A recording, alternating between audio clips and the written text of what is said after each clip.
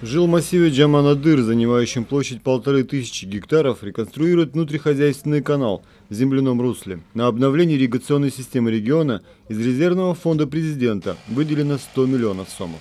жарандарыбыздын жерге болгон муктаждыктары ушул өскөнүнүн негизинде Учитывая потребности граждан в поливной воде в последние годы, мы направили письмо депутату Джугурку Кинеша Ормонову. Стараниями нашего депутата также было отправлено письмо соответствующим органам. Глава государства взял это под свой контроль и выделил из своего фонда 100 миллионов сомов. Сейчас мы начали ремонтные работы. Согласно первому этапу проекта, будет отремонтирован 12-километровый внутренний канал. Работы ведет Ожское бассейновое управление водного хозяйства. Мына м один каналы бул После окончания подготовительных работ соединим арматуру и приступим к бетонированию. Сейчас закончили 600 метров М1. Следующим этапом будет М2.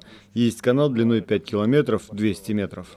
Строительство внутреннего канала планируют завершить до начала весеннего поливного сезона. В результате реконструкции поливной водой будут обеспечены 719 гектаров пашни в Куршапском, Карульском и Кызыл-Октябрьском аильных аймаках. По словам строителей, требуется время на уборку разрушенного бетона. Канал, введенный в эксплуатацию в 80-е годы, был заброшен.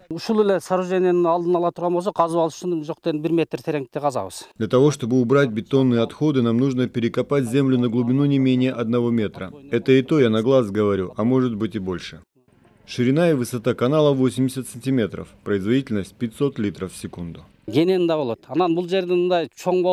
Конечно, он будет шире предыдущего канала. Здесь уклон очень маленький. Кроме того, есть магистральный канал.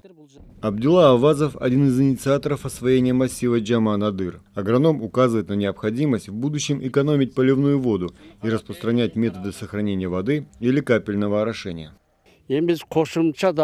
Раньше здесь была очень высокая урожайность, и сейчас урожай почти в два раза меньше. Если вода начнет поступать, то надо учитывать последние климатические изменения и внедрять методы капельного орошения. Второй этап проекта начнется в следующем году. Затем в массиве Джаманадыр будет построена насосная станция с доступом к воде Кимберабадского водохранилища. При этом в Кызыл-Октябрьском аильном округе освоено 1425 гектаров земли, а по итогам двух этапов проекта поливной воды хватит для 2200 гектаров в Кызыл-Октябрьском, Караульском, Кушапском аильных аймаках. Болт Исаев, Даяна Джубабекова, Миргуль Букошева, Акджол Айбашев, Алато 24, Ош.